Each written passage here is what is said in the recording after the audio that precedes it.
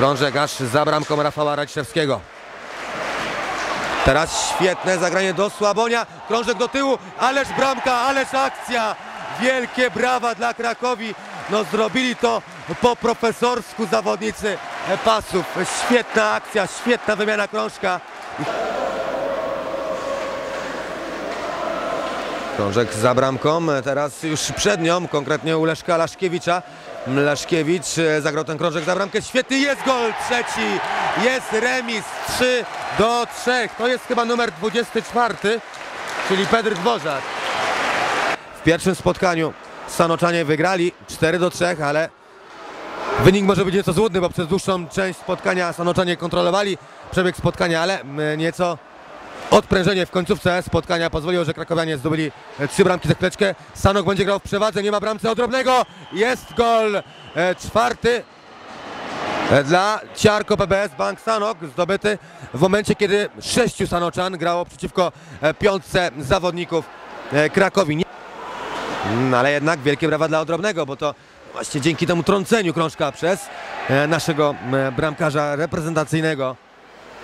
Laszkiewicz gumy nie dotarł, ale teraz dostał krążek zawodnik Krakowi.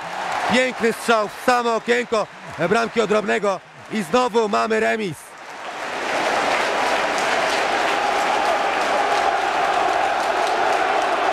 Mm, Wydaje się, że żadnych pretensji tutaj szkoleniowcy do nich mieć nie mogą. Mm, Powiem inaczej, nawet mogą być zadowoleni, że mają Radziszewskiego i Odrobnego w bramkach, bo naprawdę wielokrotnie ratowali swoje zespoły. Oj, teraz mamy spięcie, Witek po stronie Sanoka, układa się na pięści z kim to? Czyżby to był Patryk Walczak, ależ tam niemiłosiernie okładany zawodnik e, z Sanoka. A koledzy się przyglądają, no i sędzia również w parterze. Nie wiem, kto brał e, udział w tej e, bójce ze strony drużyny Krakowi.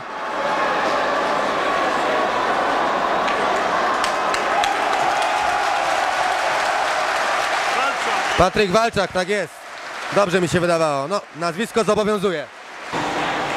Tomasz Malasiński, a krakowianie już grają w pełnym zestawieniu. No naprawdę Stanoczanie mieli piłkę meczową. Malasiński, jest gol i jest też hat-trick Tomasza Malasińskiego w tym spotkaniu.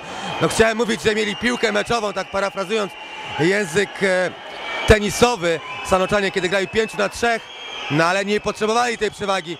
Kierunku bramki Sanoka. Peter Bartosz, tam walczy o ten krążek z Leszkiem Laszkiewiczem.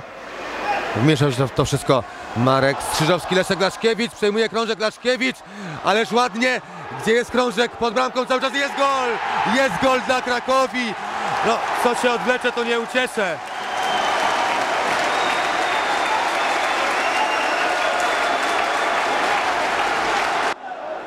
Teraz e, dla odmiany Wojtik sam przed bramką, no ale nie doczekał się krążka.